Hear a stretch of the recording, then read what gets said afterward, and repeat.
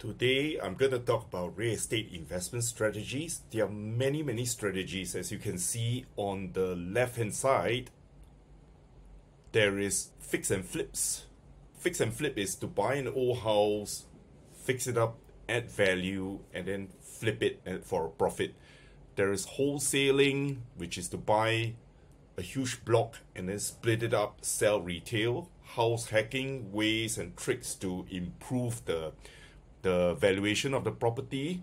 There is a live in and then rent, which is to live in a part of the house while you rent it out to another part. That's how I started my first uh, apartment that I stayed in one room and then rent out another room. And live in flip, tough, where you live in a part of a big house and then you renovate the rest of the house. And then as you move on, then you move rooms. It's quite tough living. Okay, that's because you want to save up on rental. Then number six is the B, 4R strategy, which is buy, refurb, remortgage or refinance, rent it out for cash flow, and then recycle the money.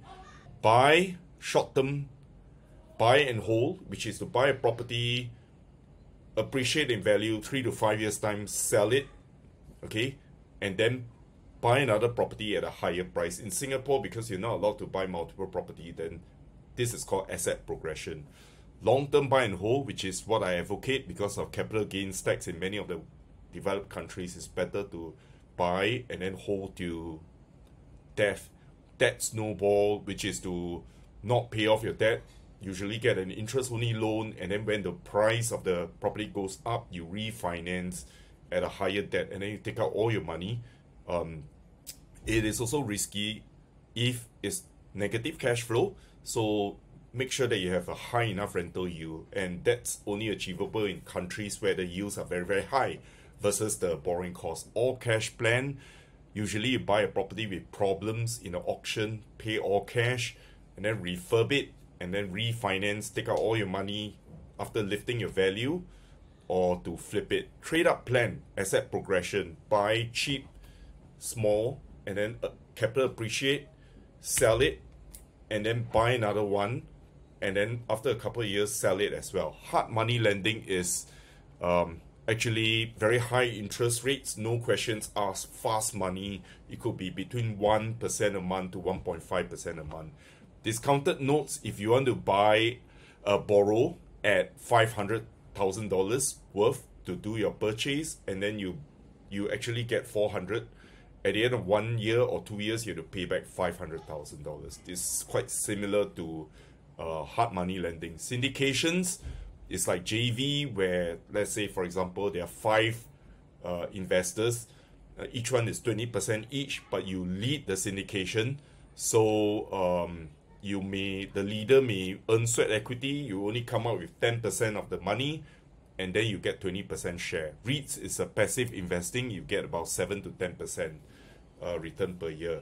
So, using multiple strategies, we look at flip title splits, which is actually like a bit like wholesaling conversions, change of use, where you get paper gains. Uh, B4R strategy, there are different asset classes offices, retail, industrial, commercial, residential. Here's an example the easiest is buying from a developer. Okay, oftentimes uh, it is at a premium.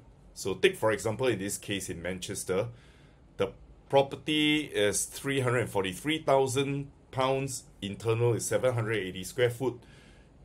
The per square foot is four hundred forty pounds. We are using property data on the on this site, the data in the surrounding area. So it's important to get the comps so average per square foot is 329. The premium you're paying 440 versus 329 is 33.7%. The average gross rent, as you can see here, is only 1283. So you always need to cross check. The average price in the area is 288,000 versus 343,000. The premium is already 19.1%. So what about the rent? the annual rent is 15,396 pounds. The lettings fee, if you deduct off 12%, is 1848. Service charge, which is the maintenance, conservancy fees, or in US it's called they call it HOA, which is the Homeowners Association. Net rent will be 10,548. Purchase price 343,000, stamp duty 17,150, legals 2,005, total cost 362,650. Net rents only 2.93%.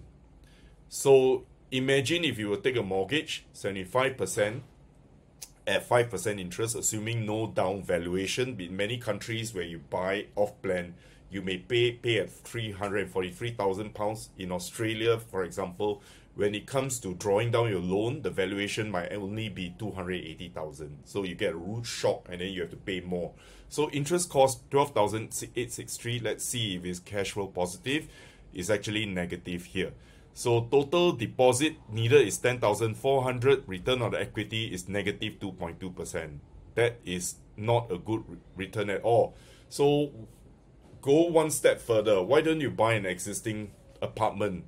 So there are 960 for sale if you do a Rightmove comparison. That is oversupply. You want as few as possible. So imagine that you are in a pub and you want to pick a girl or guy and then you you know in the pub if you're a guy you don't want to see 20 guys who are tech billionaires in that area so and then there's only two girls it's too tough right so you want to be the only one for sale and in this case 960 so 125,000 pounds you can get versus 343 I found something here. So only 125,000 pounds is 764 square foot is only 164 per square foot. So how's that for comparable? So in this case uh, buying an existing apartment um, the annual rent is 15804 lettings fee 1896 service charge 2005 uh, net rent 11,408, purchase price 150,000 pounds only, net stamp duty 7,500, legals 2005, total cost 160, uh, net rent 7.1%. How's that? Much better, right?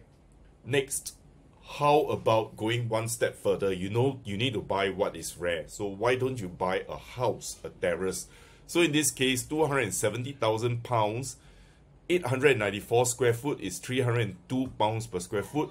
Estimated rent 16536 per year. Management fee 1984. No service charge for houses because you control your, your own expenses. Net rent 14552.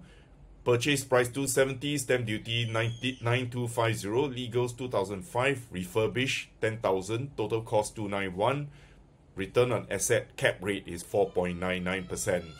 How's that for a number? So mortgage 75% loan to value ratio at 5%, you're paying 208,575. Uh, so for example, back to here, you paid 270,000 and you paid all cash.